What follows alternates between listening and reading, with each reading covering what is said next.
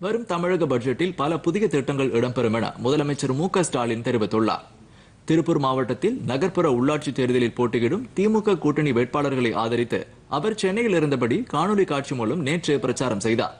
அப்போது பேசிய அவர் எந்த வேறுபாடும் இல்லாமல் அனைத்து தரப்பு மக்களுக்கும் திட்டங்கள் நிறைவேற்றப்பட்டு வருவதாக கூறினார்.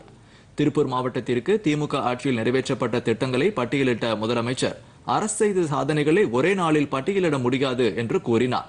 வேற்றுமையில் ஒற்றுமை காண்பதே அரசின் நோக்கம் என்றும் சமூக நீதியை நிலைநாட்ட திமுக தொடர்ந்து குரல் கொடுக்கும் என்றும் மு ஸ்டாலின் கூறினார்.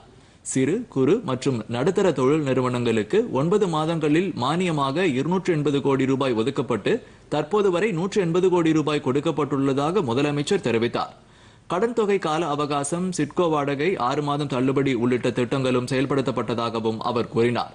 உங்கள் தொகுதியில் முதலமைச்சர் திட்டத்தின் மூலம் இரண்டு லட்சத்து இருநூற்று தொன்னூற்று நான்கு மனுக்களுக்கு தீர்வு காணப்பட்டதாகவும் முதலமைச்சர் மு க ஸ்டாலின் தெரிவித்தார். முதலமைச்சர் பிரச்சாரம் செய்தபோது காணொலி காட்சி அரங்கில் அமைச்சர்கள் மு சாமிநாதன் கயல்வழி செல்வராஜ் நாடாளுமன்ற உறுப்பினர் சுப்பராயன் உள்ளிட்டோர் பங்கேற்றனர்.